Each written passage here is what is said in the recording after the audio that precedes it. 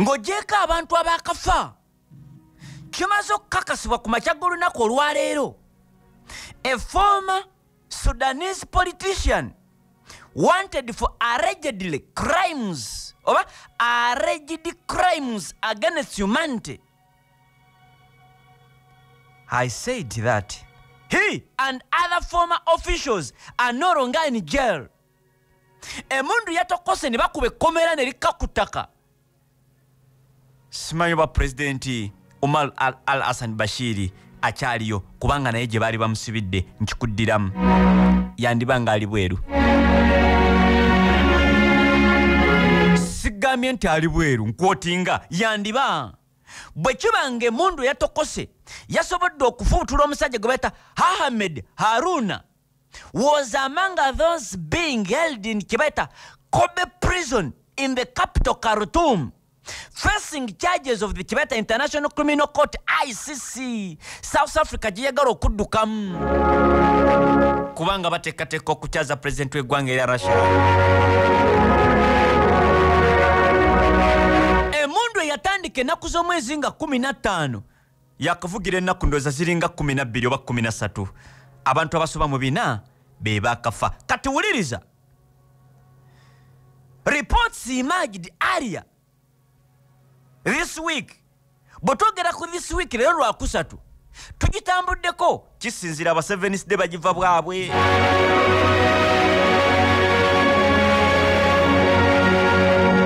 Kale nga tubala kutandikira ku mande ku lwokubiri lwe lwakusatu lipooti zatandika okufuluma of a prison break at kobe where omusajja gwe bayita hahamed aruna was serving kibeta sentence alongside umar al ashan basil former sudan president.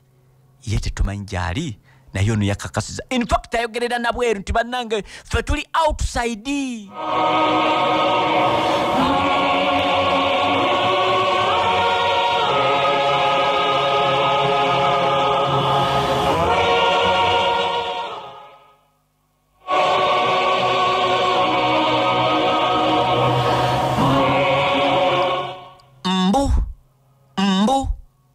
nkazemu emirundi esatu. Mbu!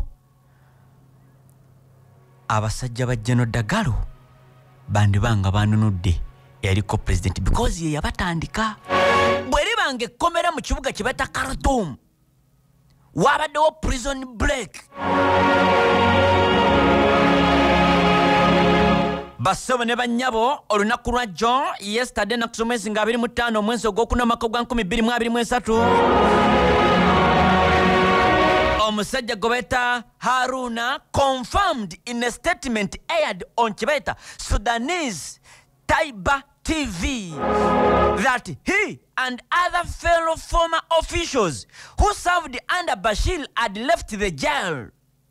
Ekifunulwa nze ne minywanyi gyange former government officials abasavinga andi omusajja gwe bayita bashir umar hassan we are out of we left the jail. Twavuddeyo mu kkomera e bassebo ne bannyabo bashiri akyali mu kkomera tali mu kkomera olutalo no lubadde lugenda kuddamu luseke. Kubanga ekiwayi kino kyegatta kyali sinakwegatta. Kyali kiringa ekiridde mu tuyinza okukiyita it was some kind of a mutin emutini ebeera munda mu basirikale ne bagamba naye tufaaki ona nti ye buzibu mm, tumuteeke ku bali ffe tukole ekyaffe. Ne bakwata munnaabwe.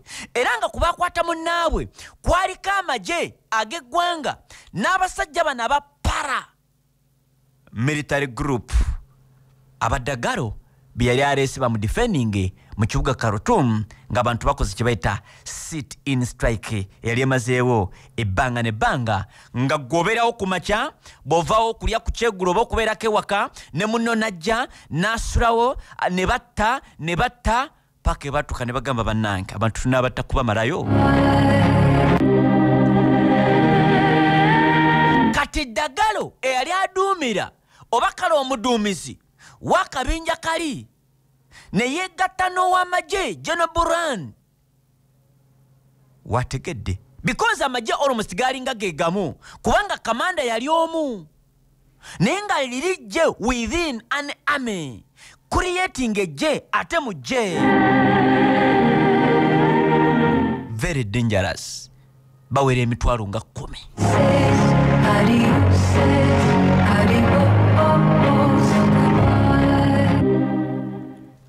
omusajja ono agamba bwe yabadde ku tv taiba tv n'agamba nze n'eminywanyi gyange bwe twasavinga anda umar al hassan bashir twavudde mu komera wabula agamba iwill be ready to appear before the judiciary whenever it was, function, whenever it was functioning. Nkisomye nga bwe kiri. Nti ndi mweteefuteefu okuddamu okulabikako to appear before kye beta judiciary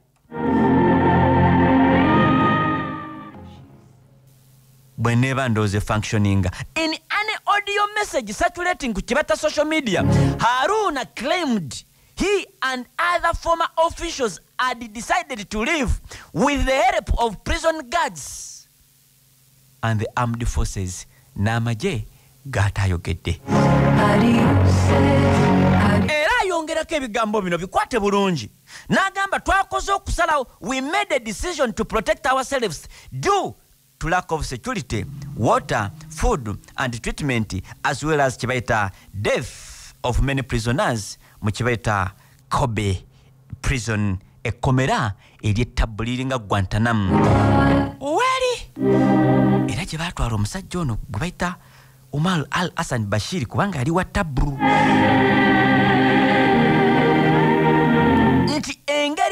abasirikale gye babadde bafaamu. Letha engeri abasibe gye babadde bafaamu. Tetukyalina security tetulina masanyalaze tetulina mazzi tetulina mmere tetulina treatment tetumanyi ani afuga. Twalabye nga kyamagezi okusooka okudduka nga tuyambibwako abasirikale ne ba security guards. Kyokka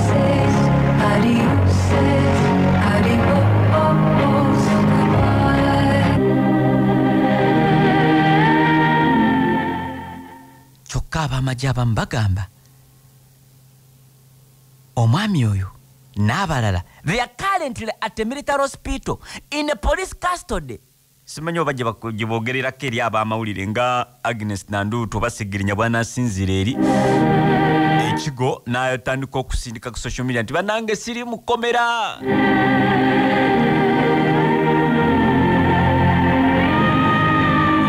omusajja ateeberezebwa okuba nga ye yayambye ku musajja gwe bayita oba omusajja ono gwe tukakasizza. Ye bamuyita ddagalo ye no ne former president umar al hassan bashiri basebo ne bannyabo they accused by icc of leading a campaign of mass killing and rape in sudanese region eri eya gundi gyonna bagyegaana era bonna bali indicted ne kyebayita international criminal court icc naddala aruuna basebo ne bannyabo eyagambye bannange sikyali mukomera faces 20 charges of, criminal, of crimes against humanity. Emisango amakumi abiri ejja crimes against humanity n'emisango emirala makumi abiri mu ebiri of war crimes gyonna jazzibwa. Wakati w'omwaka gwa 23 n'omwaka gwa 24 yali musajja wa tabbu nnyo. When he served as tebaita countries interior minister minister eri avunanyizibwa ku nsonga z'omunda kubanga musajja akuzeekuze. Era ku misango gino basebo ne bannyabo egyamutwaza mu kkomera lino ery'ettabbu nga ne kkooti y'ensi yonna yamwendayitinga ddayo emwetaaga ne munywanyi we eyali pulezidenti n'abalala. Kuliko madda rape genocide persecution torture. Emisango gino gyonna agyegaana gyamuggulwako mwaka gwa 2 mu musanvu. He was arrested mwaka gwa 219 following the coup against his boss umar al hassan bashir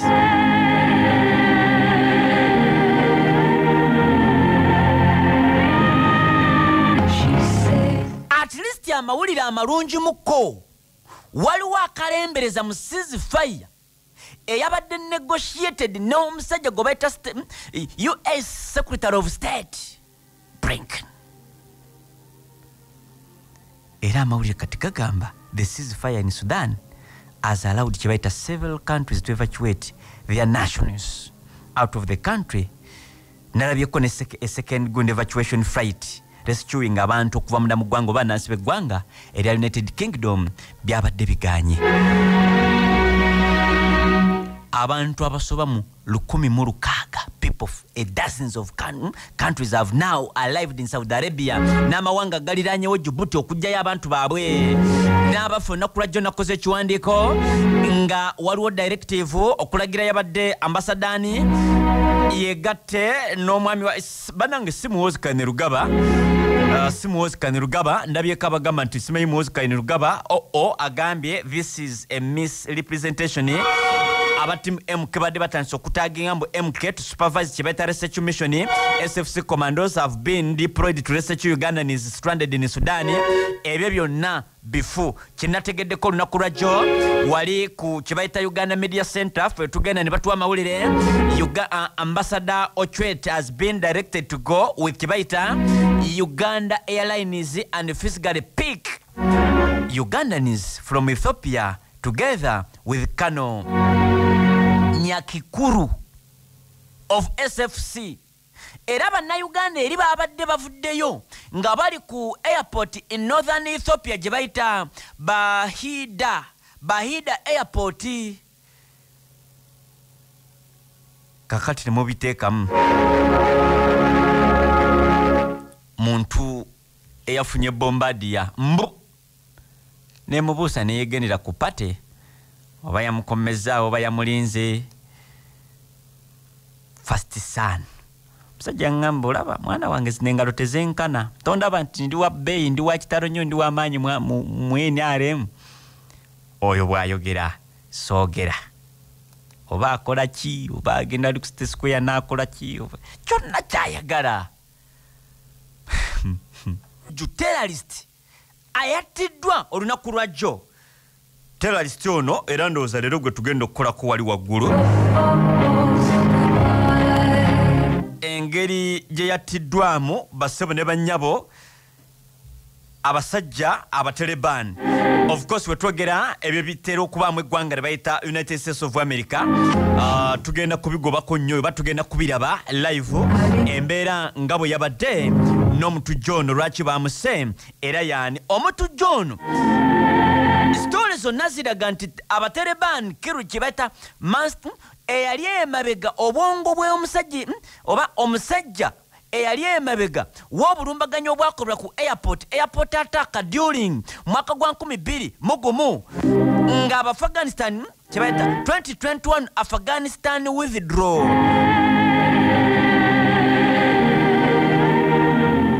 musajja wa isis akabinja akadda mu bigere by'abasajja be bayita bali aba osama bin ladeni aba al qaida abaali abazibu ennyo. Ono yakuba bomu ne kuviirako bakomando b'eggwanga erya amerika 13 ne bafa ne bannansi b'eggwanga erya afghanistan 17 nkikuddiremu. Nti bakomando abamerika 13 baafa n'abafagaani 17 yo oba be baleeta wano abafagaani baalagawa amawulire gonna galaga omuyekere ono batelasiti ono omutujja ono yattiddwa baikye bayita teleban in southern afghan oba afghanistan omwezi guno nga gutandika. Tebali specific ku deti ki? Kubanga mbwe amerika yasalawo okukuuma kino nga kyama. Actual okumanya nga eggwanga lye bayita united states of america lya tabu bagamba the taliban may not have been aware of the person it had killed. Nti abaterebaani bandiba because abaterebaani be bajja ne bawamba mujjukira amerika ng'emaze okuwithdrawing abasirikale baayo munda mu ggwanga lye beeta afghanistan oluvannyuma lw'emyaka amakumi abiri mirambirira nga eggwanga eryo erya afghanistan liri under the occupation of america almost nga bataddewo gavumenti eyaabwe bataddewo obukulembeze buli kimu then after 20 years bawithdrawing abasirikale na buli kimu. Kyova olaba abaterebaani baddamu ne bawamba eggwanga lye baita afghanistan kasita bakuba ne bawamba ekibuga kye baita kabul. Kati omutujja ono even n'abaterebaani babadde tebamanyi bayinza okuba nga babadde tebamanyi. Nti bassa omutujjo but us intelligence picked up on the leader's death with kye bayita confidence ey'enjawulo. Nga babikweka isis eno n'abatereban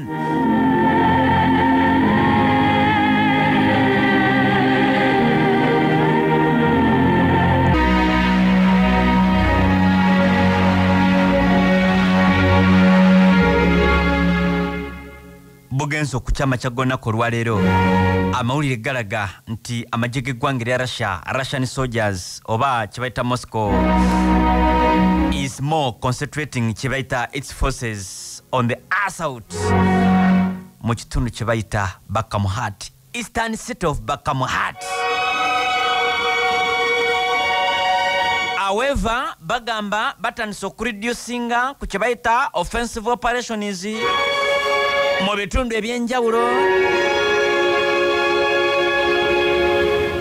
olutalo lwatandika ebbanga ddene tetumanyi diwe lugenda kuggwa kasokedde nga lutandika enaku somesi nga 24 omwezi ogwokubiri mwaka gwa 2022 nabadde ndaba pulezidenti w'eggwanga erya ukraine gwe bayita zelenski actually ng'oggyeko omusajja gwe bakagusiba emyaka 25 just to, to criticize enteekateeka oba okugamba russia lwaki mwayingira mu lutalo owa opposition mu russia ne bamusiba emyaka 25 kyokka nga ne munne gwe beeta alexei naveri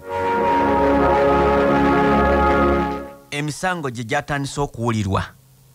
Russian opposition leader alexei.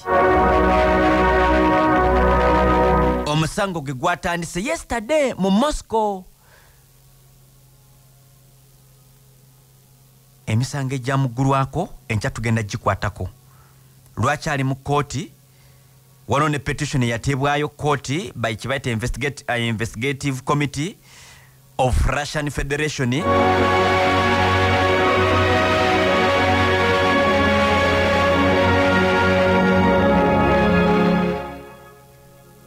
Nfundikira nkugamba nakyemalira vladimir putin yamaze okusayininga kyebayita dicry dicry eno gye yasayininze yakola kyebayita tulitaliate okugamba retaliation measures on sanctions. Olunaku lwajja nakusomesi nga 25 lunaku olwokubiri omwezi ogwokuna mwaka gwa 2022 kyagenze mu byafaayo era mu biwandiiko nti russian president gwebaita vladimir putin signed a decree introducing kyebaita possible retaliatory measures if russia assets abroad are seized senga ebyobugagga bya russia babikwatira ebweru. Nga nabo bakwata byebalabako ebyeggwanga eryo erikutte.